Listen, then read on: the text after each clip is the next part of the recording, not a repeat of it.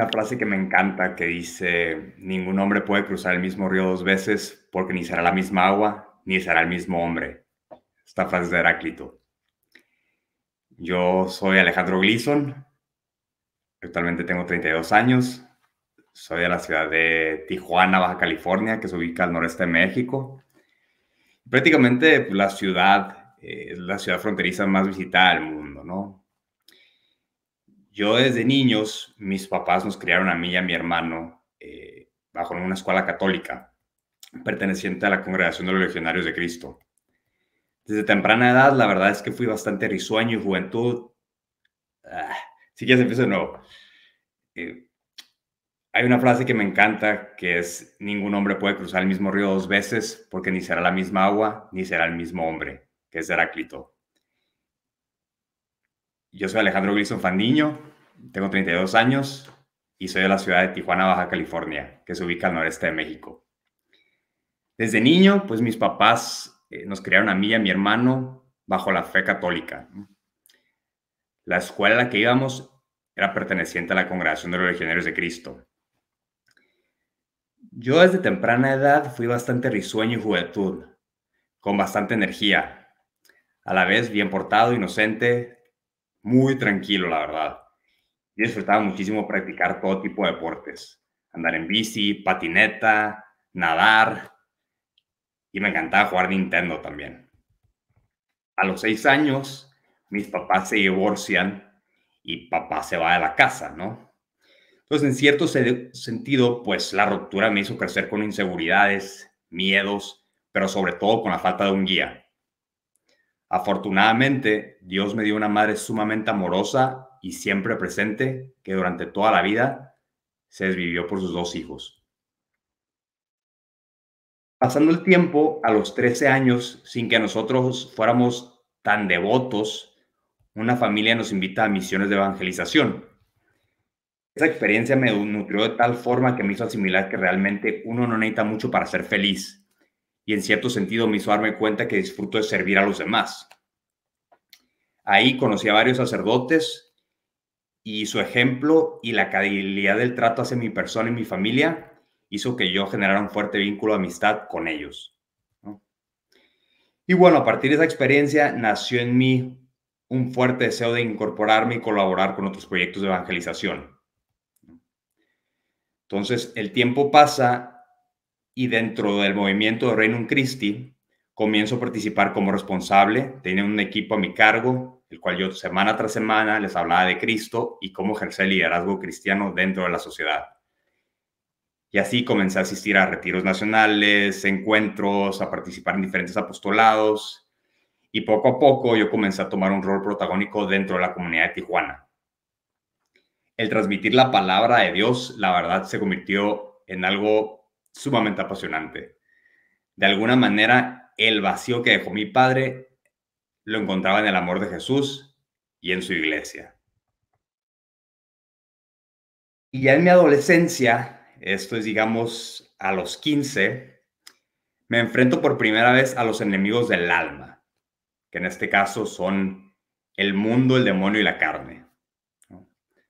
Por un lado, me enfrento al mundo donde el mundo me alentaba que para ser feliz necesitaba vestirme de cierta marca, comportarme de cierta forma, hablar con cierto tono, de cierta manera, que tengo que estar a la par de los demás para ser aceptados.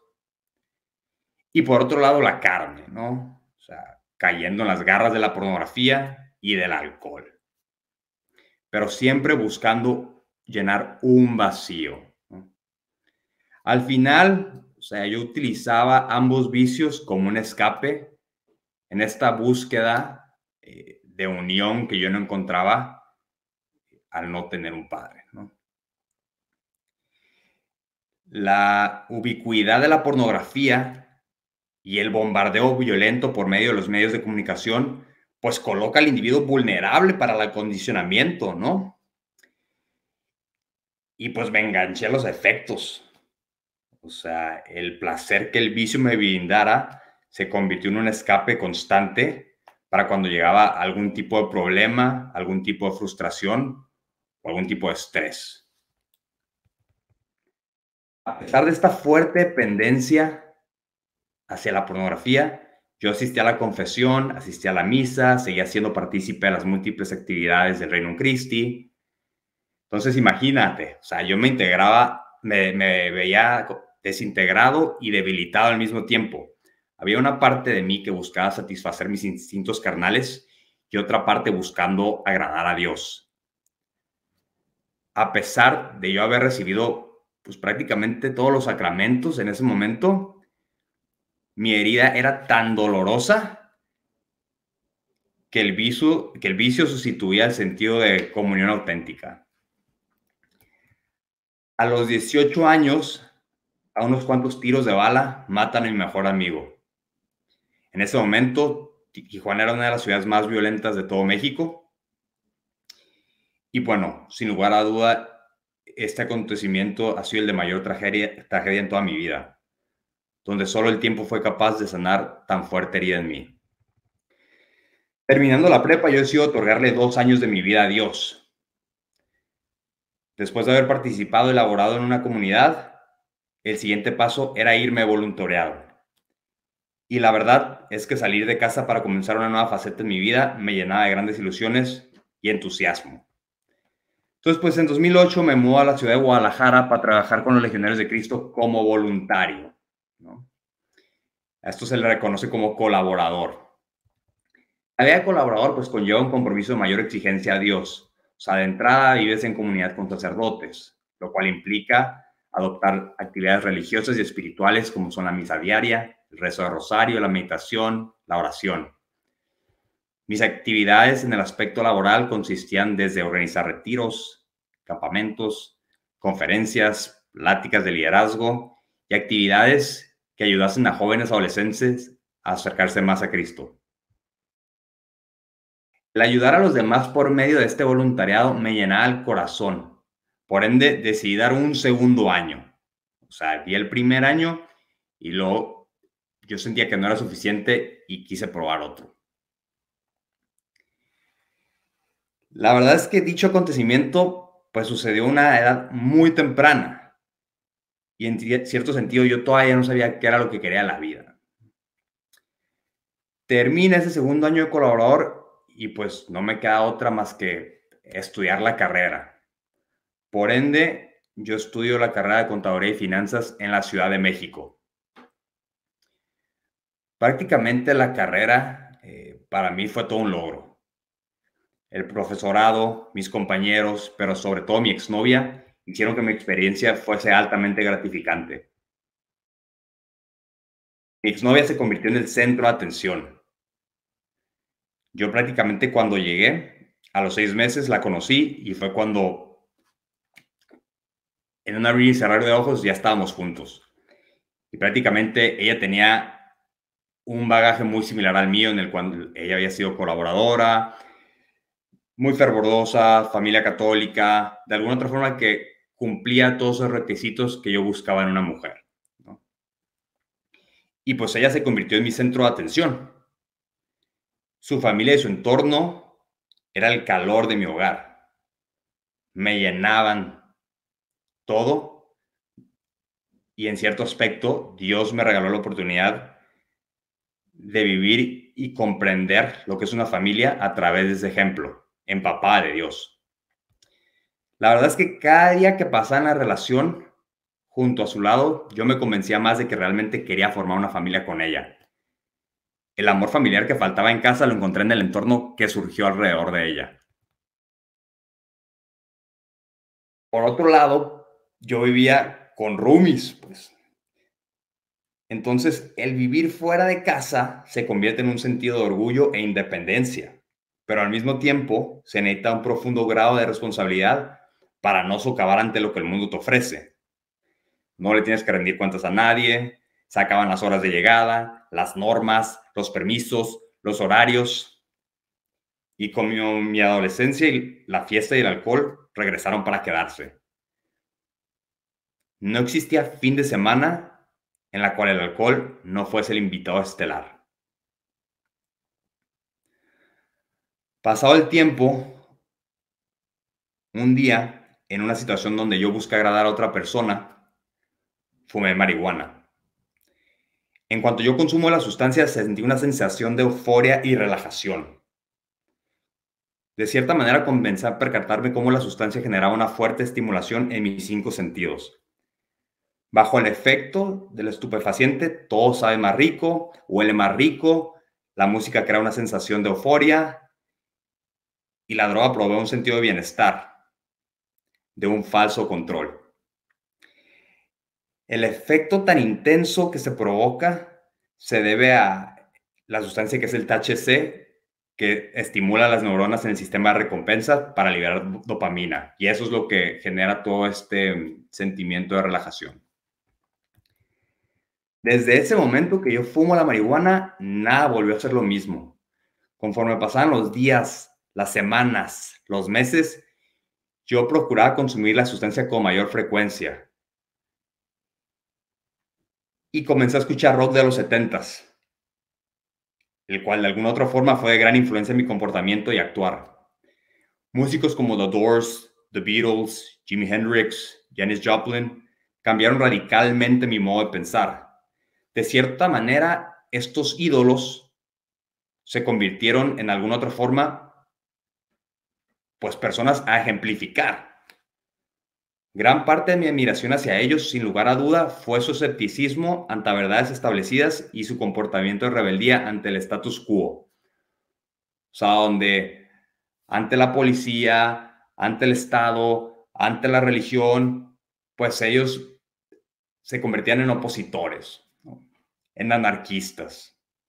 O sea, para mí el ver a ciertas personas que confrontaran al sistema ante reglas impuestas me parece un liderazgo radical y auténtico. Pues prácticamente podría, usar, podría decir que en ese momento llegué a la conclusión que durante toda mi vida había vivido una falsa burbuja, viviendo de acuerdo con lo que otros esperaban de mí, viviendo con una identidad impuesta, de acuerdo a normas y reglas que nunca elegí y que simplemente me impusieron. En cuanto a la relación con mi exnovia, pues obviamente comenzó a fracturarse. A mí la relación me comenzó a causar pereza y mi pensamiento ya había cambiado radicalmente.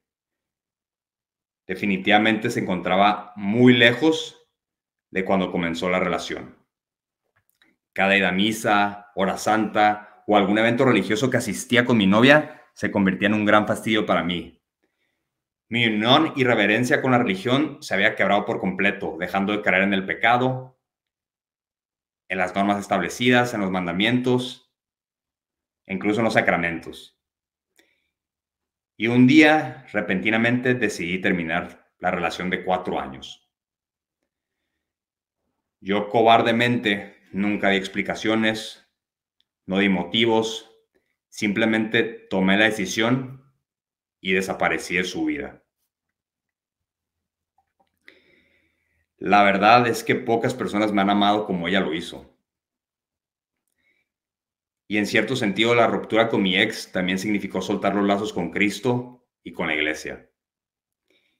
Y la ruptura significó, obviamente, para mí, la entrada a un nuevo mundo, a entrarme a otro tipo de ideas y percepciones, a crear una nueva identidad, sin falsas apariencias, sin imposiciones religiosas, sin quedar bien con el otro, a conocer a una nueva parte de mí que anhelaba por conocer.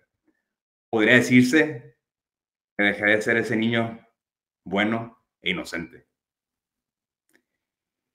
Y comencé a generar un pensamiento, el cual era, las cosas se tienen que probar. Es la única forma en la cual verdaderamente conocemos la verdad. Y bajo ese pensamiento comencé a guiar mi vida. Lo primero que decidí a romper con la relación fue cambiar mis hábitos alimenticios y comenzar a hacer ejercicio. Comencé a leer bastante y me comencé a percatar de lo roto y coludido el sistema en el que vivimos y como en cierta medida nos quieren esclavos de nuestros propios vicios, principalmente en la industria farmacéutica y alimenticia, donde la comida procesada realmente es veneno y las drogas que nos dan no son un antídoto, sino un sedante, que a la larga empeora nuestros problemas de salud.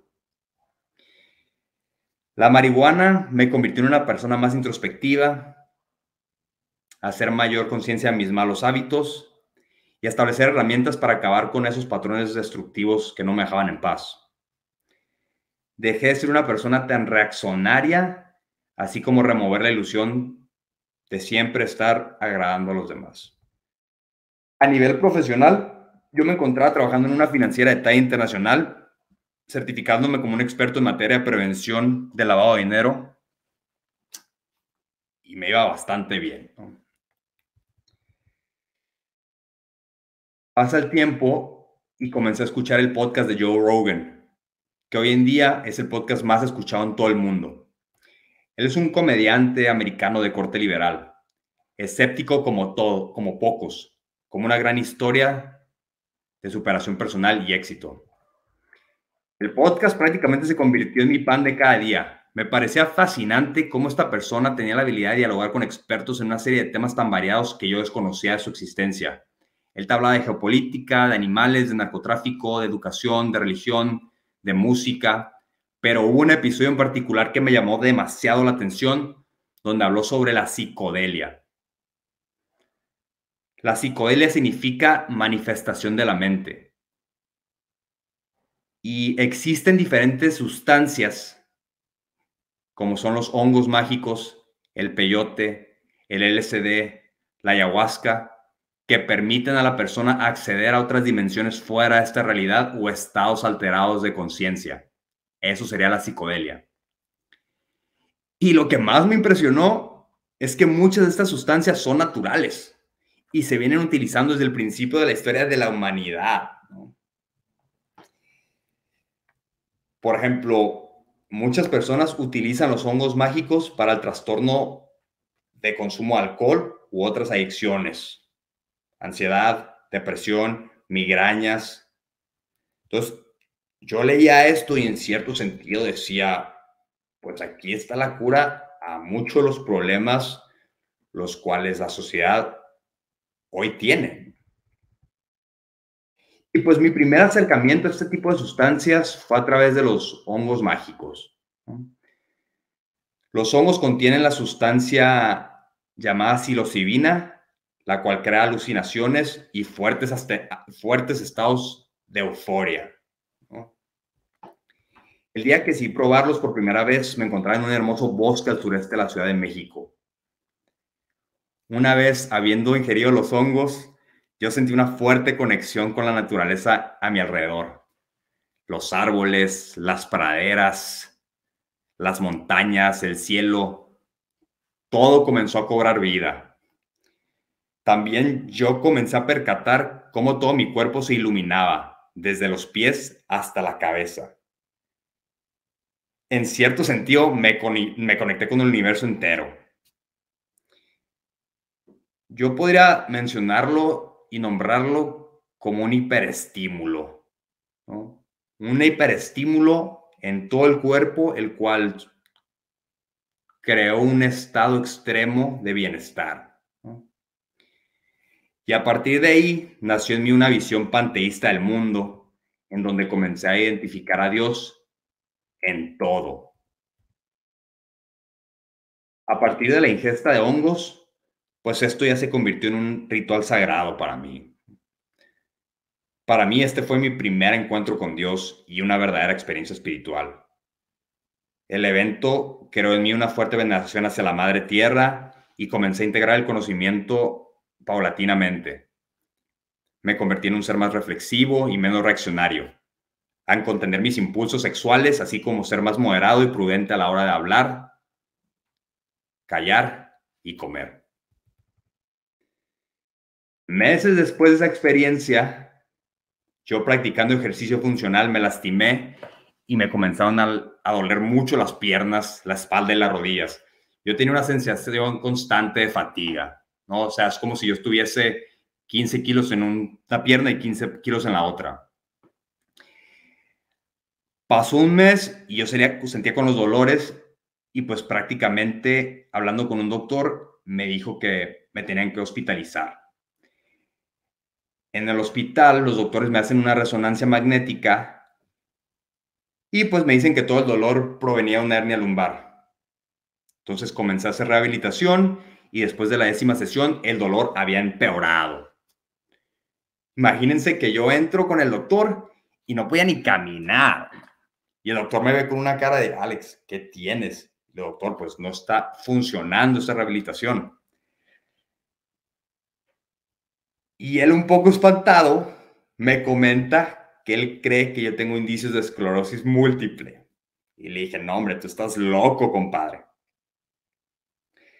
Fui con una cuarta opinión y este último doctor mandó a hacerme estudios de todo tipo. Salen los resultados y todo aparece de maravilla. Me dice, oye Alex, los resultados fueron óptimos y no tienes nada. Yo le dije, a ver, no tiene sentido. Yo todavía me siento fatigado, tengo dolor en todo el cuerpo, no estoy bien. Ya un poco desesperado, ¿no? Y el doctor me comenta que lo que yo tengo es una, enfermedad llamada fibromialgia, la cual se considera como una enfermedad neurológica que el cuerpo padece, pero en realidad es que no tienes nada. Y normalmente se genera a través de situaciones de mucho estrés y conflicto. Entonces, pues él me dice que la fibromialgia es una enfermedad incurable y que me tenía que acostumbrar a vivir con ella. En ese momento, pues si ya era un poco escéptico, imagínense ahorita. Entonces, ya no quise escuchar la opinión de ningún doctor y yo sabía que tenía que buscar soluciones por mis propios medios. Y ahí apareció la práctica del yoga. Paulatinamente me adentré a esa filosofía. Yoga significa unión unión del alma individual con el espíritu universal. Prácticamente en el yoga, la persona que lo practica apunta a convertirse uno solo con Brahman, que es su Dios absoluto. Esta unión se consigue a través de alcanzar un estado de trance meditativo llamado samadhi. Y yo seguía leyendo un poquito más de la filosofía y me percató otro término que es el término de kundalini, y el kundalini, pues prácticamente es activar la energía del cuerpo equilibrando los siete chakras o los centros de energía del cuerpo, ¿no? Pero la verdad es que no liberas ningún tipo de energía. O sea, lo que haces es prácticamente despertar un espíritu maligno que comienza a habitar en tu cuerpo. El yoga se convirtió en parte de mi rutina y pues me percaté que era muy fácil concentrarme, respirar y yo aterrizaba muy bien las posturas y en cierto aspecto mi dolor cada vez era menor.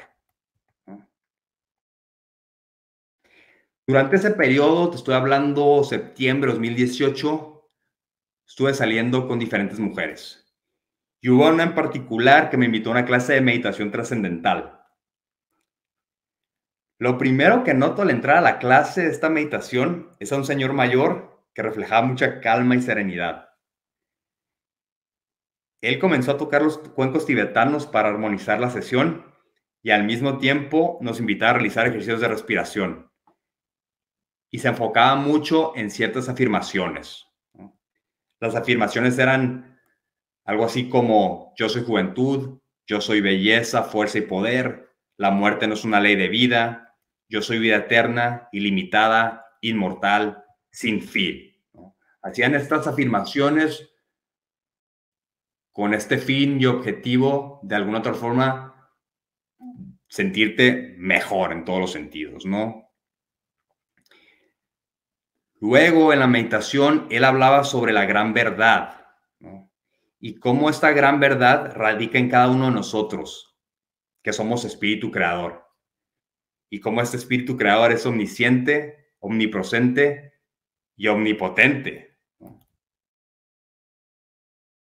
Entonces, de alguna otra forma, pues me hacía saber que existía una, divinidad dentro de mí, que yo no era solamente un humano, sino que era Dios.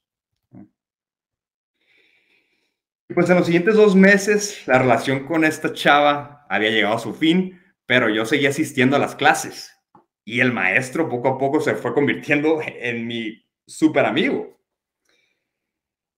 Y cuando menos lo pensé, ya me había iniciado dentro de esta secta taoísta, ¿no? Cuando te hablo de iniciación, pues es prácticamente un rito que simboliza la transición o la entrada a esta nueva vida, ¿no? A diferencia del yoga, los iniciados taoístas no hablan de un ser supremo como lo es el Brahman, sino de un estado supremo de ser que se encuentra profundamente encerrado dentro de cada ser humano. Y este estado solamente se puede alcanzar a través de un esfuerzo personal y de mucha autodisciplina. Este estado sería lo que se le conoce como la iluminación, que es muy venerado en el Oriente y forma parte del potencial más íntimo de cada ser humano. Dentro de esta enseñanza que yo estudiaba, pues prácticamente me di cuenta de que la meditación funge como un vehículo de transmutación energética. Este término transmutación es relacionado con la alquimia, física y química, que consiste en la conversión de un elemento químico en otro. Es decir, mi esencia la convierto en energía y la energía la convierto en espíritu para luego transmutarla. Y así poder canalizar la energía dentro del cuerpo, ¿no? Y pues sí, o sea, en este caso, el estudiante transmuta esta energía, conocida como prama, con el fin, pues prácticamente de conseguir un espíritu puro. Como fruto de esta práctica, la idea es obtener lo que se le conoce como un cuerpo solar, o en este caso la inmortalidad. En las filosofías orientales, ellos no creen como tal en un cielo o en un infierno, ellos creen en lo que es la reencarnación, que es el estado de samadhi, donde tú reencarnas y puedes, puedes volver a ser como un dios, un semidios, un fantasma, un animal, un humano y un demonio, me parece. Entonces, cuando tú creas un cuerpo solar, pues prácticamente rompes con la inmortalidad y te unes con el todo.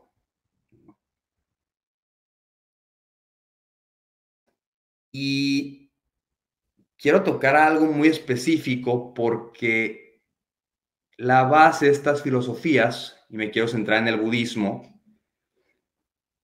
pues te dicen que el ser humano es miserable porque sufre. ¿Y por qué sufre? Porque vive apegado a personas, al estatus, al poder, a la riqueza, a los sentimientos, a la comida, a lo material.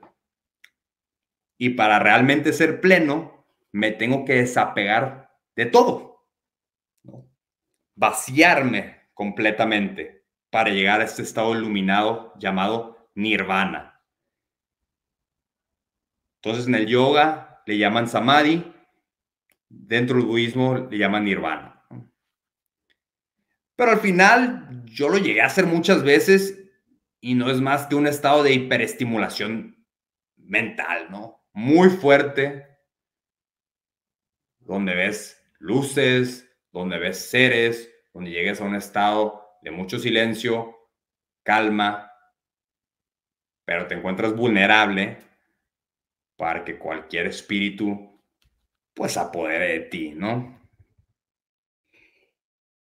Y, y, la verdad es que el incrustarse en este tipo de filosofías que van muy adheridas a la nueva era, pues se convierten en todo un acto de orgullo, soberbia, egolatría. O sea, al final uno como participante se vuelve conocedor de la última verdad, ¿no? donde son unos pocos elegidos los que pueden acceder a ella. En el cristianismo, pues es muy claro, ¿no? O sea, hasta un niño es capaz de reconocer la verdad, ¿no? Y crece también una actitud narcisista, porque al creer que tú eres Dios, pues el prójimo pasa a segundo plano, ¿no? O sea, el verdadero Dios nunca aparece. Y así, pues yo comencé a llenar mi mochila de artefactos, ¿no? Un poco de meditación, un poco de yoga, un poco de budismo, todos con pedacitos de verdad, ¿no? Y así funcionan las sectas. O sea, las sectas ganan la confianza de su víctima al predicar cierto nivel de verdad, ¿no? Pero dice la carta a los Efesios que nadie os engañe con palabras vanas, ¿no? Por eso es muy importante el discernimiento en este tipo de situaciones. Y a la nueva era yo también la llamo capitalismo espiritual, o sea, al final está plagada de sincretismo religioso y siempre para conocer la otra verdad tienes que comprar el siguiente libro, comprar el curso de milagros, el servicio de streaming, asistir al retiro de yoga en Costa Rica, comprar las cartas de tarot, hacer las constelaciones familiares y así nunca termina. Entonces, cuando menos piensas, pues ya tienen consumidores captivos. Ya te hiciste en un consumidor captivo por mucho tiempo, siempre anhelando pues llenar este vacío espiritual que solo Jesucristo puede llenar, ¿no? Y si lo ves desde el lado económico, pues este consumidor espiritual eh, le da mucho dinero al mercado. O sea, hay un estudio del Global Wellness Institute que te dice que el mercado en el 2020 valía 4.4 billones de dólares. Y en cinco años eso se va a duplicar. Entonces, pues ve el negociazo que hay, ¿no? Dentro de todo esto. En fin, pasa todos estos sucesos y en septiembre de 2018 yo comienzo a estudiar una maestría en alta dirección en una universidad de muy buen prestigio eh, dentro de México. La visión de esta universidad, pues, es de carácter liberal, ¿no? Con una carga secular sesgada a un pensamiento único. Yo entro y desde mi primera clase el profesor nos indicó que éramos un producto del azar y que nos olvidáramos de toda creencia vinculada a nuestro sistema antiguo de pensamiento. Y así el profesor nos dejó un fuerte número de lecturas. te estoy hablando de El origen de las especies de Darwin, del gran diseño de Hawking, del Kybalión, que el Kybalión pues prácticamente te indica estas siete leyes del universo, Zeitgeist, el documental de What the Bleep.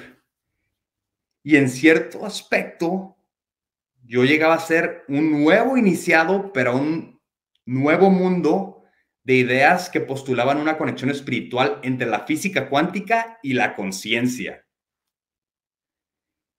Yo en ese momento recibía un cúmulo de información y pues yo feliz de seguir abriendo puertas a todo este nuevo conocimiento que yo pues desconocía por completo, ¿no? Y en ese periodo llega la ayahuasca. Para esta altura de la historia, tú ya te diste cuenta que soy un curioso y que me considero un explorador, ¿no? Y que yo deseaba con anhelo la siguiente experiencia espiritual. Y la siguiente experiencia, pues, era tomar ayahuasca. ¿Qué es la ayahuasca? La ayahuasca es un té elaborado a partir de dos plantas con propiedades alucinógenas. Una planta es la chacruna y la otra la marirí, que prácticamente contienen una molécula que se llama dimeltriptimina, que es mejor conocida como la molécula de Dios. Se dice que cuando morimos y el alma sale del cuerpo, la glándula pineal en nuestro cerebro secreta dimeltriptimina. Yo ya había leído y escuchado de lo que hacía esta sustancia y cómo te brindaba información sobre otras formas de ver la existencia que la bebida me podía llevar a explorar mi propia psicología y que muchas personas lo utilizan con la finalidad de sanar problemas disfuncionales. Regresando al tema del alcoholismo, de adicciones como enfermedades del mismo espíritu, ¿no? Una ceremonia ayahuasca se divide en tres partes. Lo primero es la preparación, es decir, antes de comenzar la ceremonia, uno tiene que abstenerse durante una semana de comer comida procesada, tomar alcohol, no puedes fumar, evitar tener relaciones sexuales, comer lácteos y carne, ¿no? Esto con el fin que esta medicina purgue tu conciencia y tu cuerpo. Tienes que llegar limpio para que el espíritu pueda entrar y tú te puedas beneficiar de la mejor manera. La segunda parte es la ceremonia en sí, que consiste en la ingesta del té y comienzas a recibir mensajes de este espíritu, ¿no? Y la tercera parte de la ceremonia es la integración, es decir, una vez que fue la ceremonia, integrar todo lo vivido. A esto me refiero a todo lo que viste, pues canalizarlo para un bien, transformar relaciones, hábitos, traumas, lo que te muestre el espíritu, ¿no? Yo decidí tomar la sustancia en una ceremonia con un grupo de personas guiados por un chamán, ¿no? El chamán solo venía a México dos veces al año. Él venía de un estado de Brasil que se llama Maceió, que creo que se encuentra al noroeste de Brasil, noreste, perdón. Y el retiro fue en un pueblo eh, que se llama Tepoztlán. Este pueblo, pues es un pueblo hermoso, lleno de vegetación, eh, rodeado por montañas imponentes, ¿no? Eh, una vez estando en la ceremonia, son las 10 de la noche, y pues hay 40 personas en un círculo vestidos de blanco, debajo de una palapa y todo el aire libre. En el centro, pues puedes ver un altar lleno de flores, velas y la imagen de Jesucristo con otros dos maestros. Se encuentra el chamán y otras dos personas que tienen música y tambores listos para invocar el espíritu a la Pachamama, que es el espíritu de la ayahuasca. Nosotros nos comenzamos a formar en hilera y cada uno pasó por su shot. Y afirmando algunas palabras, cada participante se comenzó a tomar la bebida y déjame decirte que no sabe nada agradable. Tierra, sabe tierra. En ese momento yo regreso a mi lugar, me recosté dentro de mi bolsa de dormir y yo comencé a sentir cómo el tiempo se movía con mayor lentitud y veía cómo las notas de música comenzaban a ingresar en mi mente.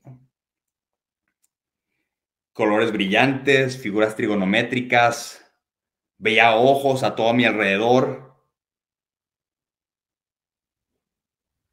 Y cuando uno se encuentra en este tipo de trances, sigues consciente. No me desmayé, no me dormí.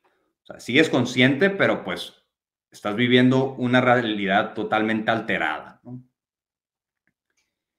Hay un fuerte sentido de disociación entre el cuerpo y el alma también, ¿no? Y en ese momento, con mucho silencio y en un estado de mucha inseguridad, yo comencé a pedirle al espíritu que me diera respuestas a aquello que yo tanto buscaba. Entonces empecé a preguntar, ¿qué será mi futuro? ¿Qué será mi vida profesional? ¿Qué será mi vida amorosa? Qué camino debo seguir. Y en ese instante yo simplemente cierro mis ojos y veo la imagen de mi padre que desaparece. Y el espíritu me dice, si tú sigues, quieres seguir creciendo, tienes que sanar lo fundamental, que es tu padre. Yo en ese momento comencé a llorar. Sentía como mi corazón se ablandaba por cada llanto que mi alma soltaba. Y lentamente un ser me comenzó a abrazar. Yo sentí un tremendo calor que se apoderaba de mi cuerpo y una paz profunda reinaba por todo mi ser, ¿no? Este ser era la Virgen. Mi bolsa de dormir se había transformado en la Virgen. En la siguiente escena, el espíritu me mostró cómo a partir de la herida paterna de abandono, yo solía repetir este patrón con muchas otras personas. Entonces yo solía comenzar relaciones y abandonarlas por temor a que ellas me fuesen a abandonar primero. Y ya por terminar la sesión de seis largas horas, horas, cierro mis ojos y siento una piedra encima de mi espalda, la cual describía la culpa que yo cargaba hasta ese momento por la pérdida de mi amigo y por la religión. Al siguiente día, obviamente yo no podía creer lo que había acabado de experimentar. Millones de pensamientos pasaban por mi cabeza. Yo buscaba conectar todo lo experimentado. La ayahuasca oficialmente se había convertido en mi artefacto favorito. Un artefacto más a la mochila. ¿Y por qué? Pues porque por mucho sobrepasaba cada una de las experiencias que yo había vivido anteriormente. El retiro terminó y yo regresé a la vida real de trabajo y arduo estudio. Durante un año yo me dediqué a seguir estudiando. Mi biblioteca de la nueva era aumentaba con lecturas de ocultismo, nueva era, filosofía y espiritualidad. O sea, libros muy famosos como Los Cuatro Acuerdos, Don Juan, Metahuman del Deepak Chopra, El Kama Sutra, libros sobre psicología, libros sobre psicodelias, libros sobre, libros sobre biología de la creencia, el I Ching, eh, que se utilizaba por los emperadores chinos para de alguna otra forma saber su futuro, ingeniería interna de Sadhguru, el libro tibetano de la muerte, en fin, o sea, yo comencé a leer todo este tipo de lecturas pero hubieron tres autores que realmente se convirtieron mis maestros. El, primero fue obviamente pues, Friedrich Nietzsche. O sea, yo al leer su obra de Así hablo Zaratustra, pues conocí este concepto del superhombre de Nietzsche, ¿no? Donde él indica que la salvación no viene de un salvador, sino del propio hombre, donde a través de su perfeccionamiento moral, intelectual, físico y mental, el hombre se ensalza y se potencializa en su máximo esplendor. O sea, en cierta manera, hasta hoy, ha sido uno de los filósofos que han moldeado mi comportamiento y forma de pensar. O sea, y es chistoso como al final de la vida, pues lo tomaron como lunático. O sea, él vivió encerrado en un psiquiatra. Pero él severamente siempre criticó al hombre atomizado, ¿no? mejor conocido como el ser de la manada, ¿no? Este ser obediente, sumiso, religioso, que no piensa fuera de la caja, hiperestimulado de droga, de alcohol, de placer, de un instinto débil. Entonces, mi filosofía de vida en ese momento consistió en ser todo lo opuesto a la manada, ¿no? Y también Nietzsche pone en referencia en que la religión es similar al alcohol en cuanto a que ambos, pues al final son solo una curita, no sanan realmente a la persona. Son como un painkiller, por así decirlo, donde toma esta curita, vuelve al mundo, pero no existe realmente un sentido de cambio de parte de la persona. Y en cierta manera yo lo vi así, ¿no? O sea, yo parte del por qué me alejo de la religión es porque yo veía mucha gente, pues que actuaba muy contrario a lo que decía hablar. Y por eso me identifiqué mucho con, con este ser, ¿no? Y luego pues también me entré a ideas de pensamiento humanista de Abraham Maslow y Aldous Huxley. ¿no? O sea, la filosofía humanista prácticamente se centra en que los seres humanos somos buenos por naturaleza, que la sociedad es la quien nos corrompe y que nosotros siempre estamos en búsqueda de manifestar pues nuestro estado potencial, ¿no? Fue un libro que también marcó mucho que se llama Religion, Values and Peak Experiences de Abraham Maslow. Maslow, pues prácticamente en Occidente reconocido por la pirámide de necesidades que pues a todos nos la mostraron durante nuestra etapa académica. Y en el libro, él hace énfasis en la importancia de alcanzar lo más alto de la pirámide, que es la autorrealización del ser, ¿no? Y que esta máxima autorrealización pues es alcanzable a través de estos estados alterados de conciencia, que es un despertar espiritual, ¿no? O sea, y cómo al adentrarte en el subconsciente, pues tú puedes acceder a información de tu pasado, como lo es un trauma, como lo es un mal hábito, y puedes integrarlo y cambiar toda tu vida, ¿no? Entonces, todo comenzaba a hacer mucho sentido porque yo conectaba los puntos, pues, de toda esta aventura. ¿Por qué? Porque estos maestros de hace más de 100 años, pues me lo confirmaban en sus lecturas. Y luego el otro autor, Aldous Huxley. Su libro La filosofía perenne, pues prácticamente él examina las creencias espirituales de varias tradiciones religiosas y explica cómo el Islam, el judaísmo, el budismo, el cristianismo, el hinduismo, pues todas están unidas, ¿no? Y, y hay un anhelo humano por experimentar lo divino.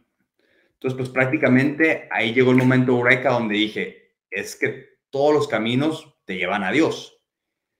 Que al final eso es la nueva era, panteísmo, panteísmo religioso, ¿no? O sea, todo es relativo en el sentido que no existe una religión verdadera. Entonces, para este momento yo ya era taoísta, humanista, ayahuasquero, y también me empezaba a convertir un poco socialista. En febrero de 2020, yo acudo a otro retiro de ayahuasca, pero esta vez fui por dos días. Es decir, acudí a una ceremonia el jueves y otro el viernes.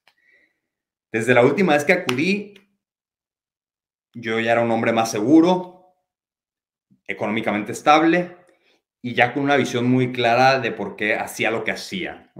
Que al final yo solamente quería buscar la verdad, ¿no? Y esa verdad, ¿cómo la encontraba? Pues conectando con este sur superior, con este ser divino, que en este caso era el espíritu de la ayahuasca, ¿no?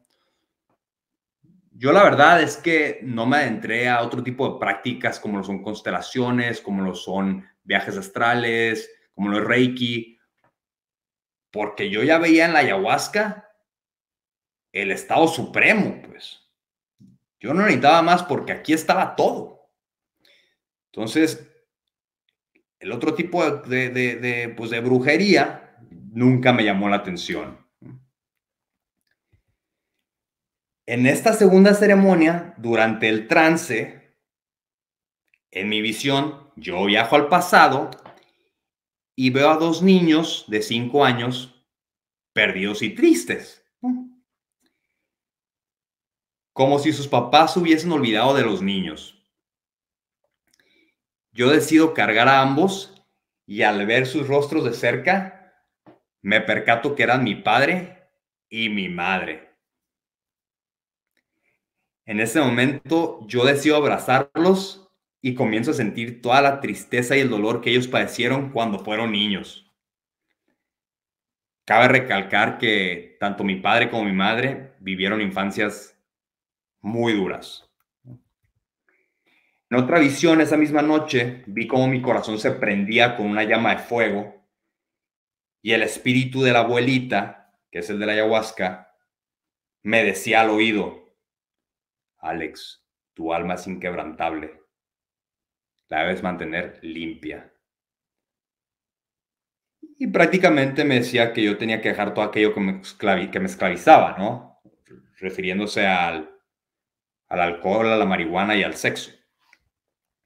Y por último, pues se me apareció mi amigo Kelo, el que falleció a mis 18, y tuve una plática con él, frente a frente. Al siguiente día, mediodía, hubo una ceremonia de cambó. ¿Qué es el cambó? El cambó es un veneno de rana utilizado como medicina tradicional. Normalmente se utiliza en rituales de limpieza eh, en Sudamérica. Es una sustancia un poco cerosa que se recolecta raspando la piel de una rana. Y este veneno se aplica en la capa superior de la piel o del brazo. En este caso, a mí me lo untaron aquí mero, ¿no? Aquí arriba del brazo. Eh,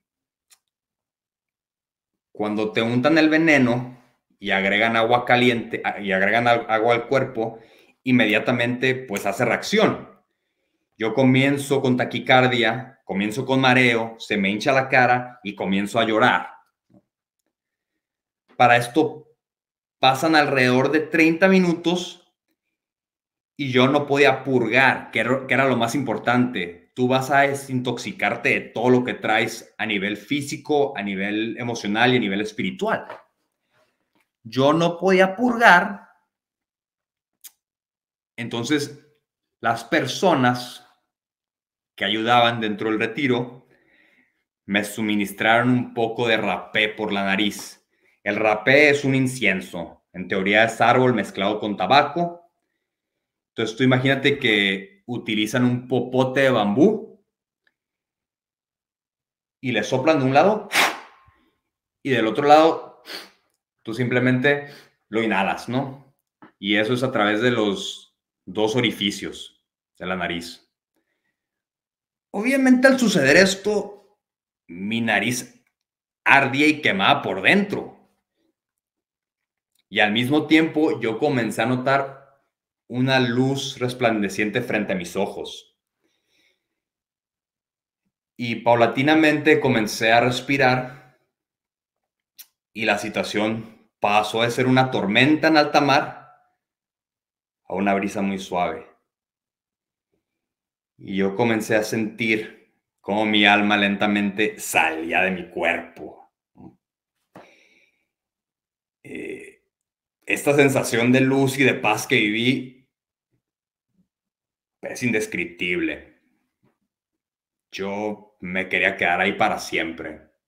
O sea, yo de alguna otra forma a través de esa práctica, pues sentí lo que era estar en el cielo, ¿no? O sea, era una, una hiperestimulación tan fuerte que, que te llevan a, a, ese grado de, de experiencia. Pasa la ceremonia, febrero 2020, y comienza marzo. Y pues todos sabemos qué pasó en marzo, ¿no? Yo entro lúcido, fuerte, renovado, y mientras el mundo comenzaba a encerrarse, yo comencé a, forjar un cuerpo, mente y espíritu fuerte y resiliente. Muy dedicado con el trabajo, con el ejercicio, con las lecturas, con las mujeres, con la meditación. Y hablando del contexto en general de lo que pasaba, pues yo comencé a notar cómo esta misma situación del virus hacía que los gobiernos comenzaran a tomar ciertas medidas en materias económica, sanitaria, educativas, para detener la catástrofe. Pero todo me parecía muy raro y fuera de contexto. Yo para eso había leído un libro de la socialista americana Naomi Klein que se llama La teoría del shock. Y justamente ella hablaba cómo los gobiernos y entes privados suelen crear momentos de shock, momentos inesperados, pues para cambiar las reglas del sistema, ¿no? Y este tipo de acontecimientos, si tú te vas atrás, pues lo vas a ver predominar en, cada 10 años, cada 5 años, normal, ¿no? Lo hacen. Entonces eso resonó mucho en mí, ¿no? No hacía mucho sentido. Y bueno, siendo un curioso, comencé a indagar un poco más del tema y pues me percaté de un sinfín de eventos, tergiversación de datos, modificación de pruebas, que me llegó a la conclusión que toda esta catástrofe pues no era la catástrofe que realmente nos mostraba, ¿no? Otro evento crucial que sucedió poquito antes de esto que te comento. Un fin de semana yo le marco a un amigo para acudir a una caminata al bosque. A mí me encanta el bosque, me encanta la naturaleza, me encanta hacer ejercicio. Y él accede a venir conmigo, pero me comenta que lleve conmigo LSD, que es mejor conocido como ácido lisérgico. Pues es una droga.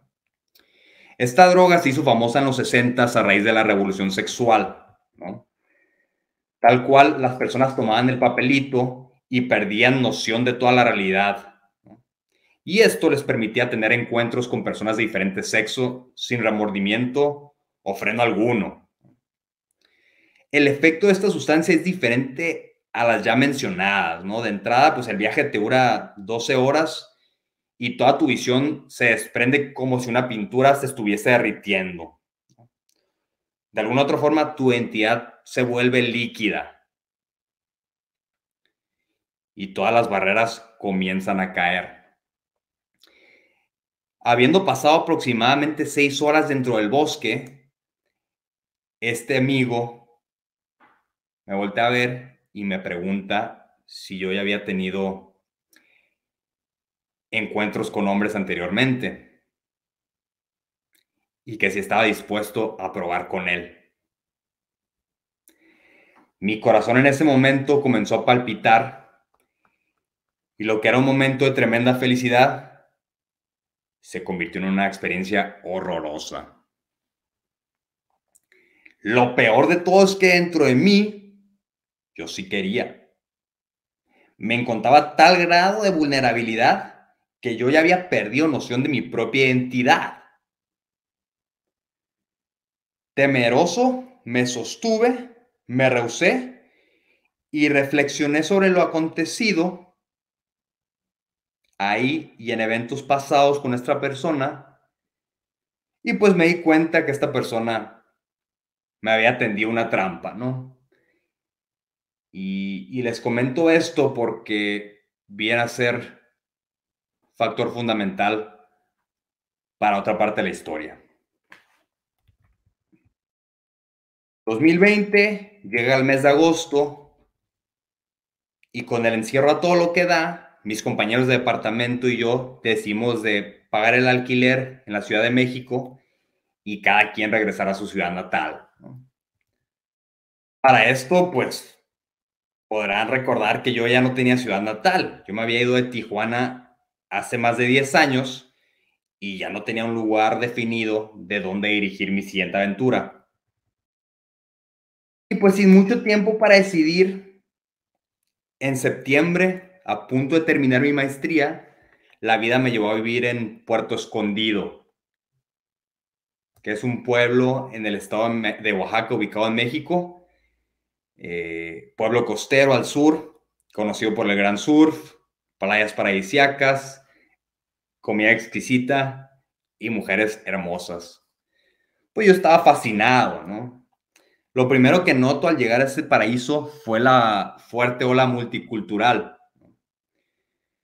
Gente de España, gente de Noruega, gente de Argentina, Brasil, Canadá, Estados Unidos. Entonces, pues, qué mejor lugar para conocer otro tipo de gente y acumular nuevo tipo de experiencias, ¿no? Y ahí, pues, obviamente predomina un pensamiento liberal, ¿no? Y, hay un fuerte espiritismo también, ¿no? O sea, magia blanca, yoga, lecturas, tarot, sound healing, crystal healing, you name it.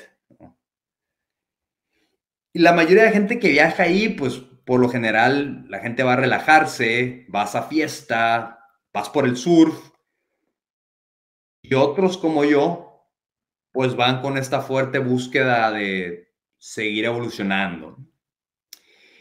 Y yo conociendo a las personas, me topo con una pareja y me comentan que ellos tienen una relación abierta, ¿no? Y yo les digo, oye, pues ¿cómo funciona eso? Y me dicen, pues es que nosotros vivimos el amor verdadero, el amor no egoísta.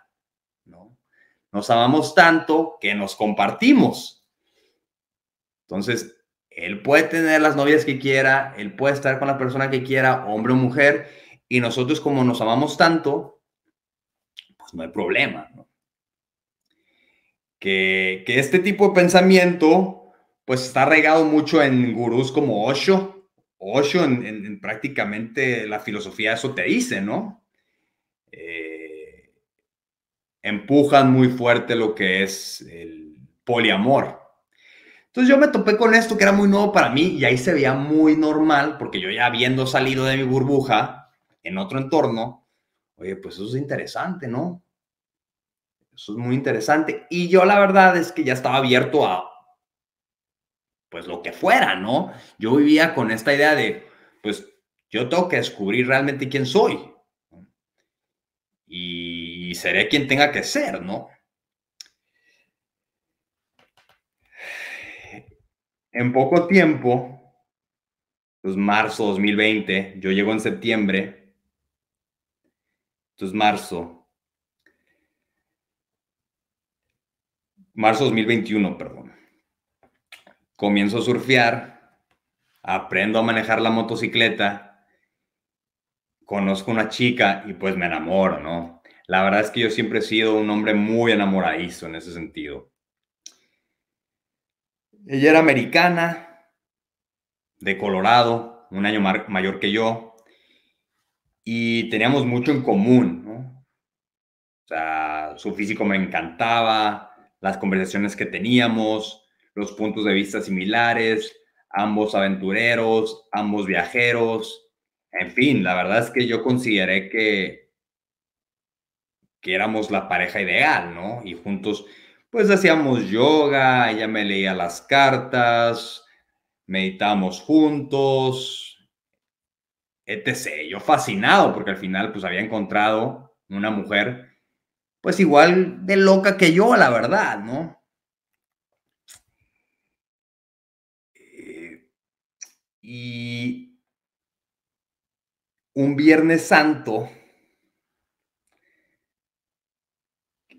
con la marea alta, yo me sumerjo y comienzo a nadar dentro del mar.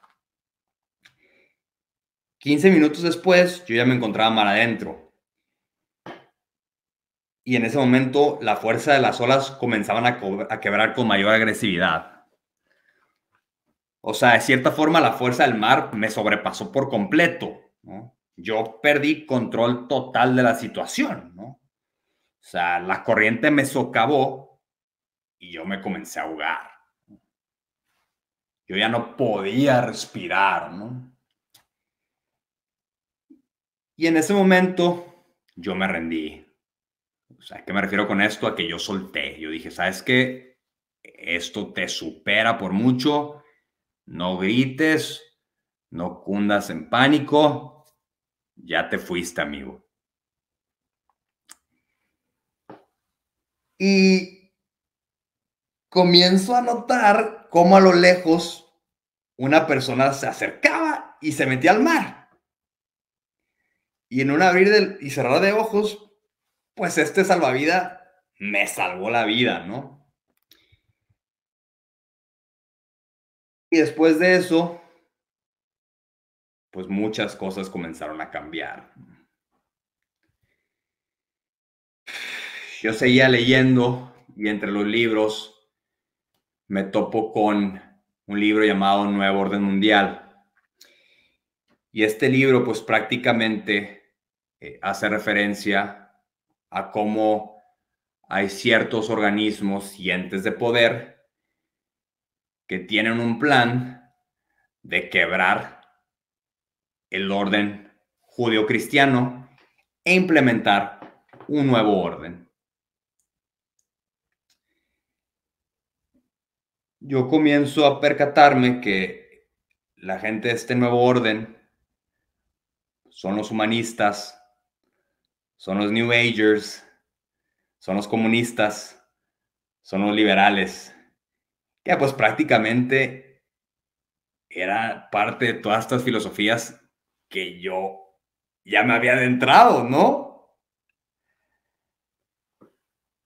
Entonces, pues prácticamente hablaba de que este, todas estas organizaciones pues buscaban derrocar a la iglesia de Cristo al siguiente día yo me fui a confesar. No sé por qué, simplemente yo dije, esto me supera, tengo que irme a confesar. Obviamente, pues no hice una confesión general ni mucho menos, ¿no? O sea, yo confesé tantitas cosas, la confesión hecha a la medida, pero pues fue el primer acercamiento después de siete años.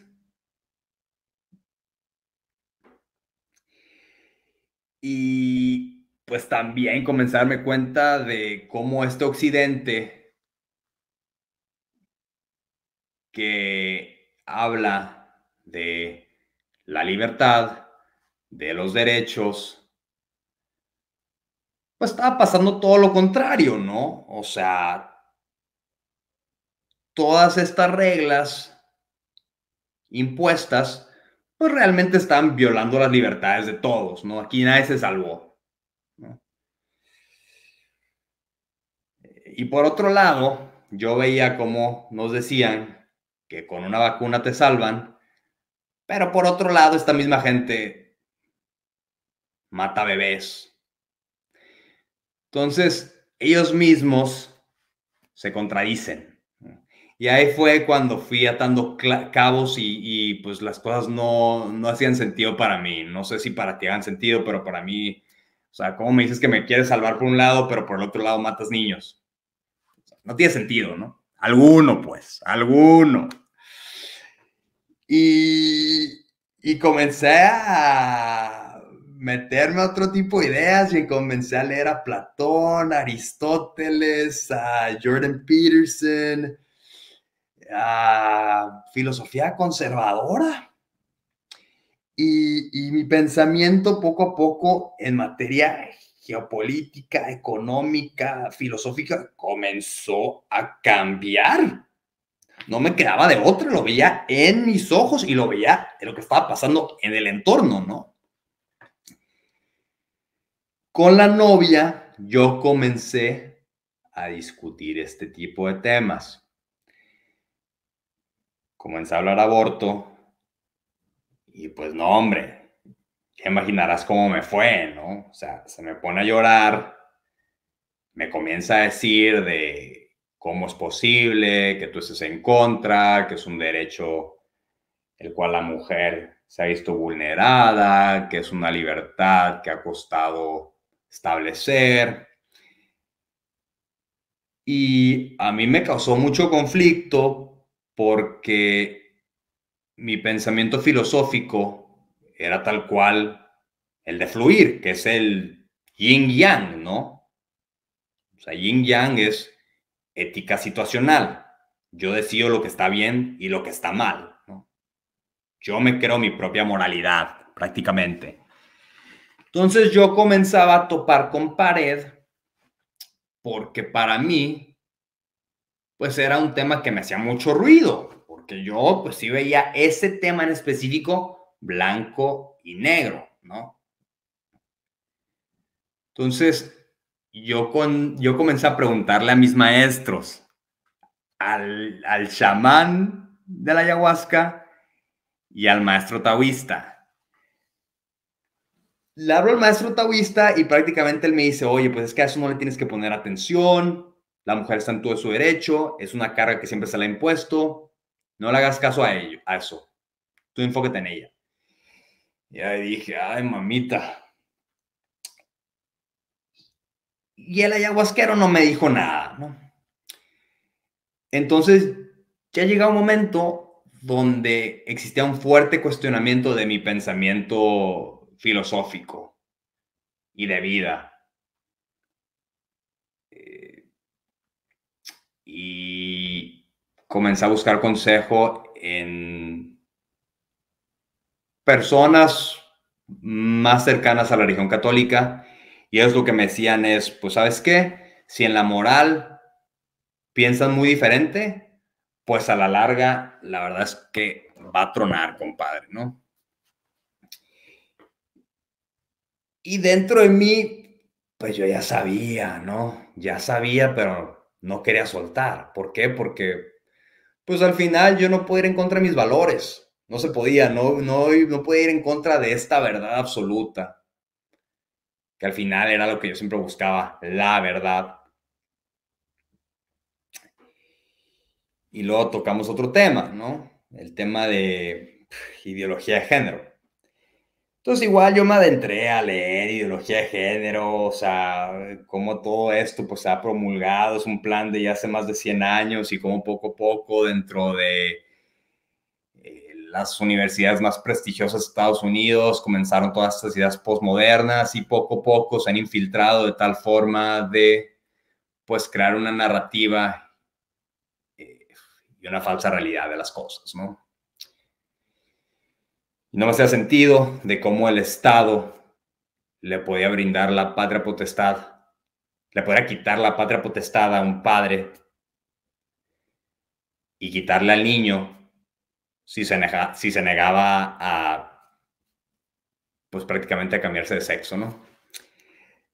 Eso me causaba mucho ruido también. Yo lo comenté con ella y ella pues también. O sea, su reacción fue una reacción reaccionaria, sin escuchar, sin, sin entablar un diálogo, se puso a llorar, me comienza a decir de, oye, pues es que tú no sabes si hubieses estado en esa posición donde te encuentras en un cuerpo equivocado y no te gusta tu cuerpo, pues tú también lo harías, ¿no? Sé más compasivo, me decía. Y ahí va Alejandro y me puso a escuchar bastantes podcasts de, de gente, de personas transexuales pero pues aún así, para mí no haya mucho sentido, ¿no? Y pues obviamente una rayita menos, ¿no? Eh, yo ya sabía que tarde o temprano esa bomba pues iba a explotar, ¿no? Estamos hablando de julio y en septiembre teníamos nuestra ceremonia de ayahuasca, otra ceremonia en el mismo lugar con la misma gente. ¿No? Entonces, eh, para este caso, pues eran ya tres días. O sea, la primera vez que lo hice fue uno, la segunda dos y ahora tres días de ceremonia. Volé con mi novia de Puerto Escondido a México y ahí pues prácticamente tomamos un autobús y nos dirigimos a Tepoztlán. Yo estaba muy emocionada para que ella pues tuviese esta experiencia eh, y sintiera lo que yo siempre había sentido, ¿no? O sea, a pesar de que yo ya había esta transformación interna, eh, seguía muy metido y muy convencido del poder de este espíritu, ¿no? Y lo que me podría brindar. Entonces, para no hacer más largo el cuento, pasa la ceremonia del jueves, pasa la ceremonia del viernes y la ceremonia del sábado es cuando explota todo. En la ceremonia del sábado, yo tomo el té, me siento y en ese momento comienzo a sentir un estímulo muy fuerte dentro de mi cabeza, como si te estuviesen masajeando el cerebro. Y yo simplemente me hinco ante este ser. Me hinco ante este ser y le digo, te entrego todo lo que soy. Yo te quiero servir. Me vuelvo a sentar y este ser, a través de voces e imágenes, me dice que si yo lo quiero servir, tengo, que convertirme en quien realmente soy, un homosexual. Entonces, en ese momento, cuando llega la imagen, cuando llegan las voces, pues entra dentro de mí una crisis muy fuerte de identidad. Yo me pongo muy nervioso, yo entro en un estado de pánico, mi cuerpo comienza a temblar y yo no entendía por qué estaba recibiendo ese tipo de mensajes. Y durante 30 minutos, pues entré en un lugar muy oscuro. Y durante ese momento yo comencé a reflexionar y a pensar pues de dónde venía este mensaje y por qué este espíritu me está dando el mensaje. O sea, si tú regresas a Sigmund Freud, él te dice que para liberar el hombre, pues se tiene que liberar en su sexualidad, ¿no? Que es a través de la liberación sexual como realmente uno conoce a sí mismo.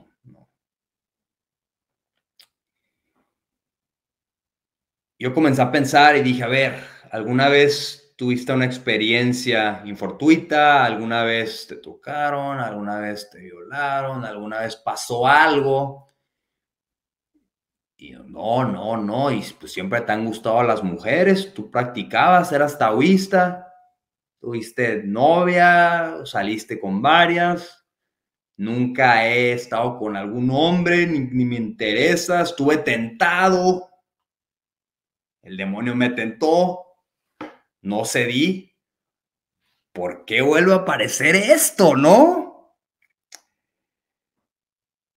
Y en ese momento, pues caí en la lógica de que Dios nunca miente. Dios te habla con la verdad. Y este ser me estaba mintiendo porque lo que él me decía no era mi identidad. En ese momento yo recapacité y pues me di cuenta que este espíritu pues era un demonio, no era un espíritu que me quería confundir, ¿no? Y que me quería quebrar mi identidad. En ese momento es obviamente la pesadilla se puso peor, pero yo comencé a respirar.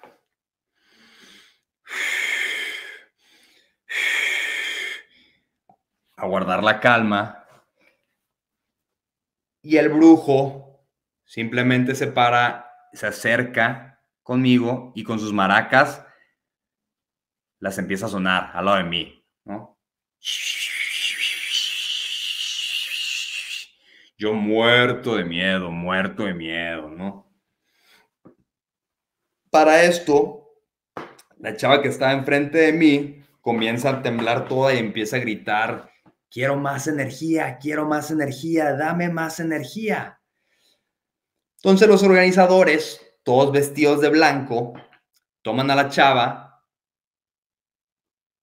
la retiran de la palapa y la llevan a la fogata, ahí la cuestan. Obviamente, contándoles lo que acaba de pasar, pues yo dije, necesito aire. Para esto, mi novia estaba, pues bien, no se movía, todo bajo control, ¿no? Entonces pues la estoy viendo, no le ha pasado nada.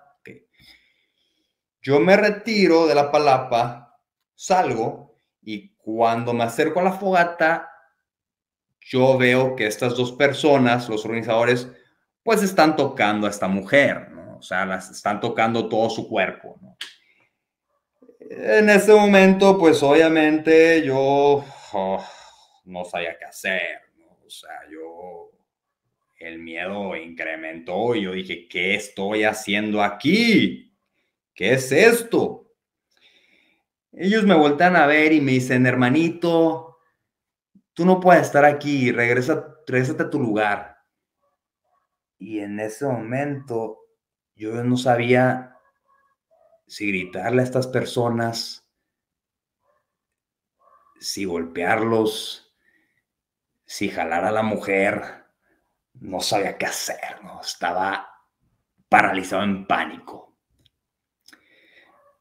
Pero dije, ¿sabes qué? Aquí ley de la selva, cada quien se cuida por sí mismo, ¿no? Entonces yo voy a cuidar de mí mismo y de mi novia. Yo regreso y ahí comienzo a repetir las palabras donde this shall pass, this shall pass, this shall pass, ¿no? Esto no es eterno, esta pesadilla va a pasar, se va a acabar en algún momento, no te vuelvas loco, no caigas en ese estado de histeria. Para esto, pues obviamente yo seguía alucinando, yo seguía purgando, yo tenía indigestión estomacal, a mí me dolía la cabeza, o sea, vulnerable, todo mundo ahí está vulnerable para que le hagan lo que sea, pues. Yo cierro los ojos y comienzo a percatarme de cómo hay personas alrededor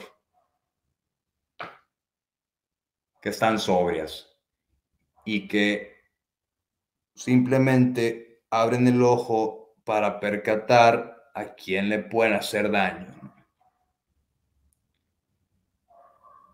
Yo me fijo como al frente el brujo sigue tocando la guitarra, pero comienza a hacer tiempo.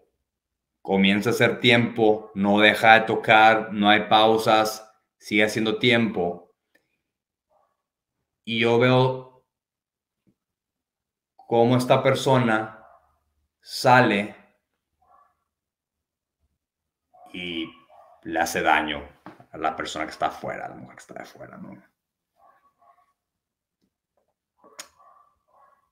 Diario uno se encuentra con el mal, ¿no?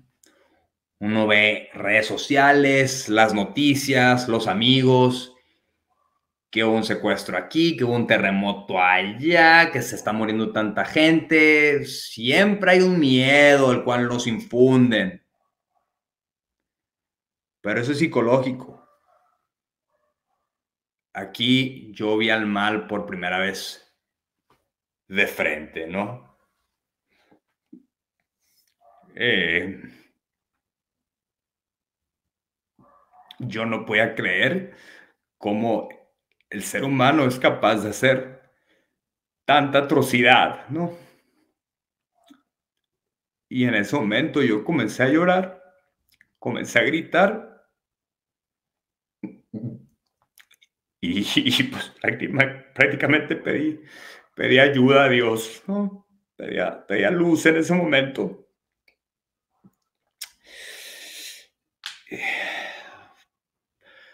Pasaba el tiempo y en este lugar oscuro y tenebroso, yo dije, necesito un abrazo, pues necesito algo de calor.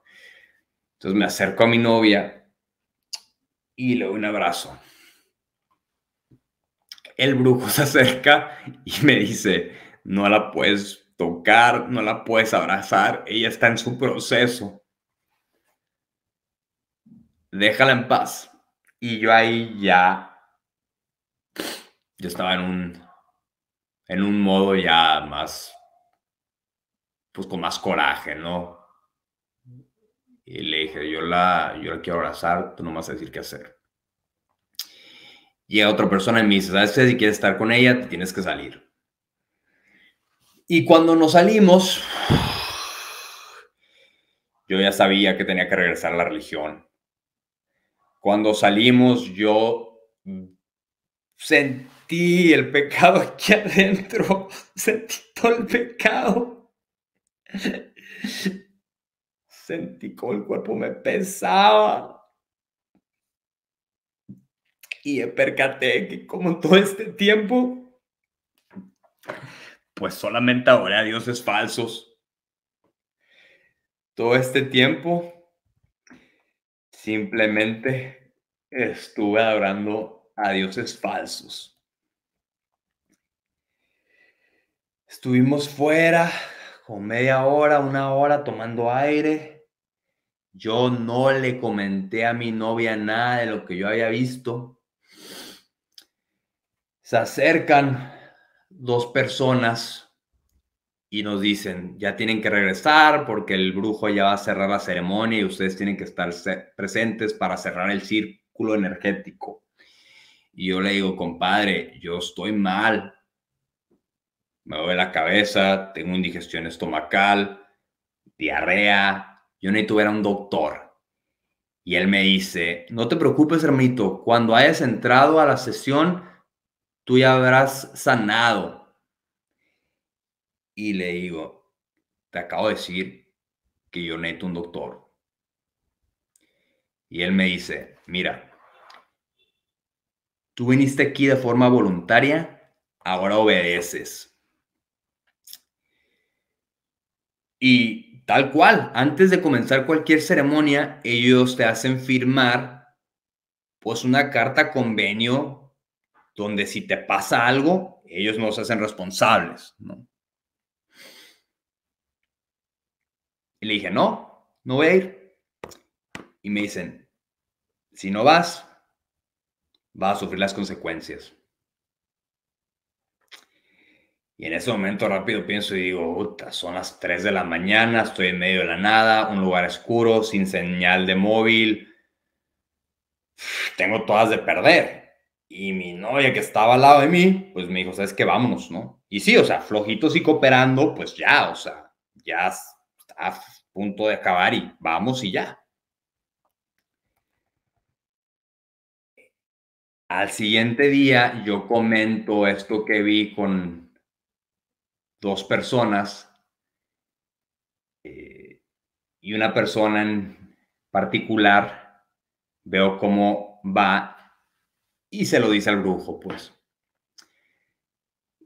Y yo pues en ese momento pues la pesadilla había empeorado porque ya sabían que yo había visto pues todo el argüende que se traía, ¿no?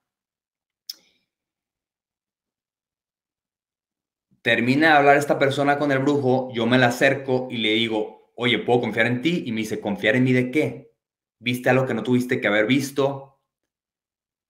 Eh, tú estás mal, deja que te ayudemos, estás enfermo. Y dije, madre mía, ¿dónde estoy metido? Me tengo que ir ya.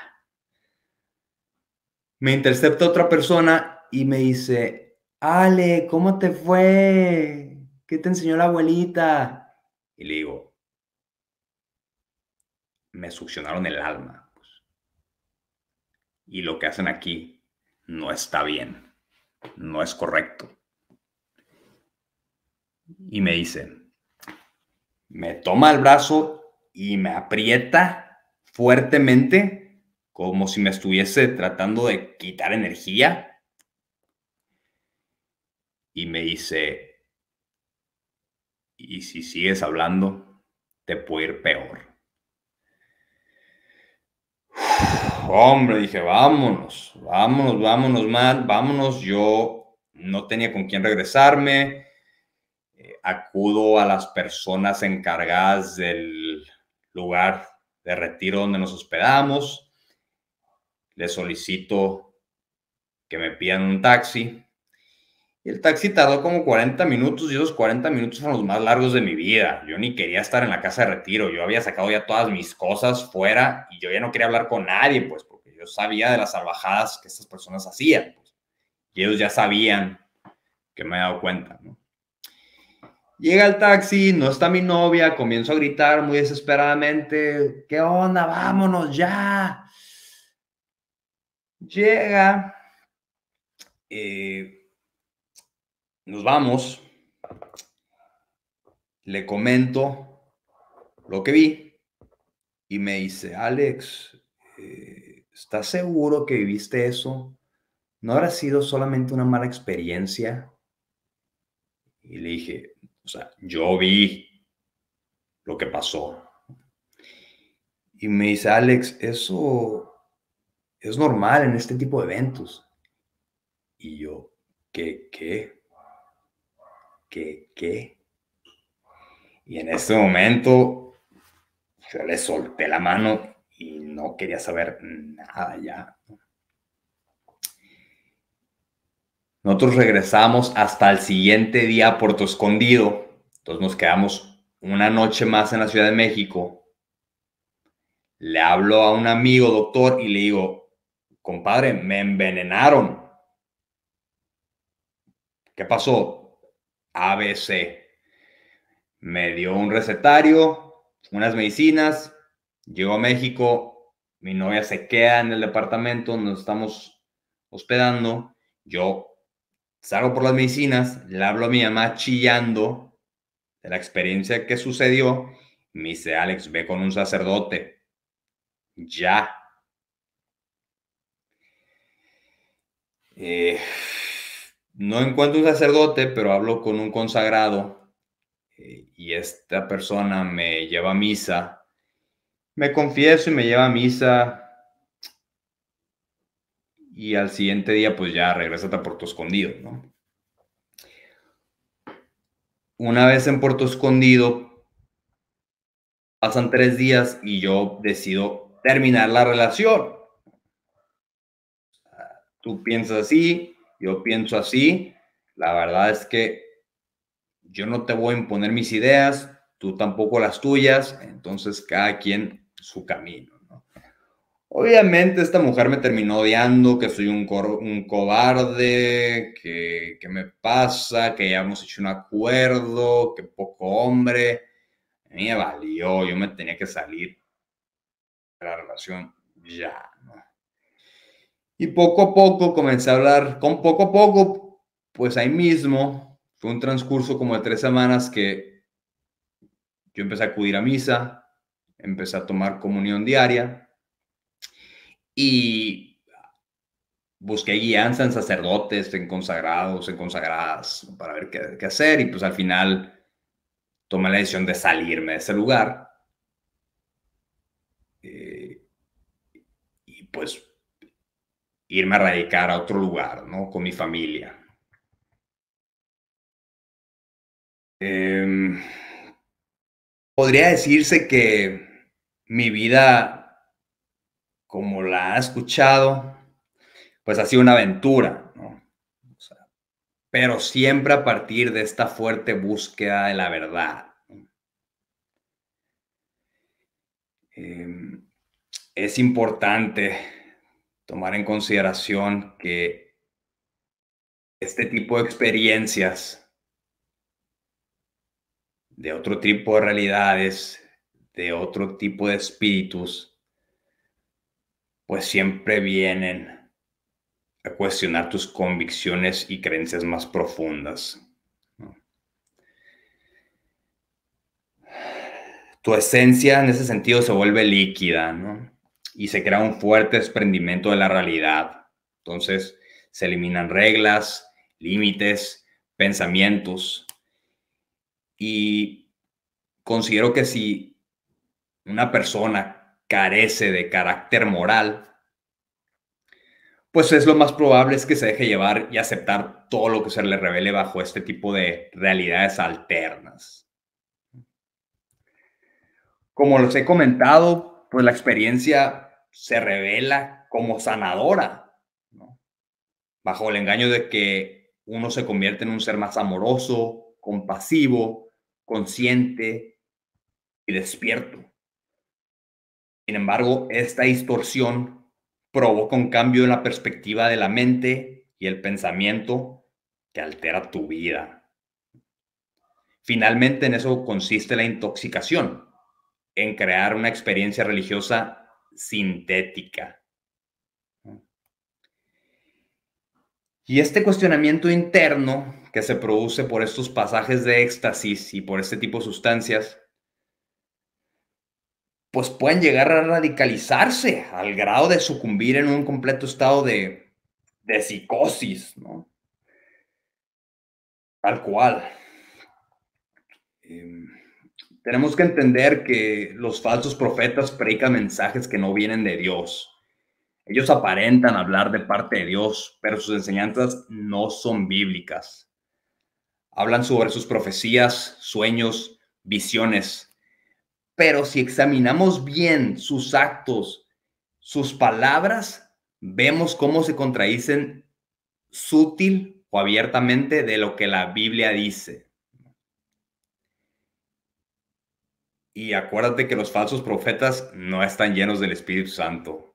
Engañan a los demás, desviándolos de Dios, causando conflictos y confusión. Yo estoy profundamente agradecido por el amor, la educación y la formación que recibí. Al final, fue eso lo que me terminó salvando y la fuerte oración de mi madre.